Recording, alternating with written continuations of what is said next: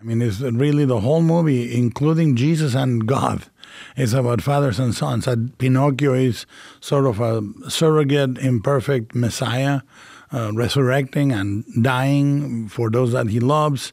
I think that all these wires are crossed in my head, and, and they all make sense in the in the way they inform each other. If I'm gonna make a, a, a movie about disobedience being a virtue, what better place to set it than in an, an invisible uh, sort of string world where everybody obeys except the puppet? There are many, many, many reasons. And uh, if you think about a note being hit at a piano, these elements, death, life, how brief it is, fascism, the imperfect fathers and imperfect sons, they all hit the pedal on the note to make it a little more resonant with what I think it should sound like.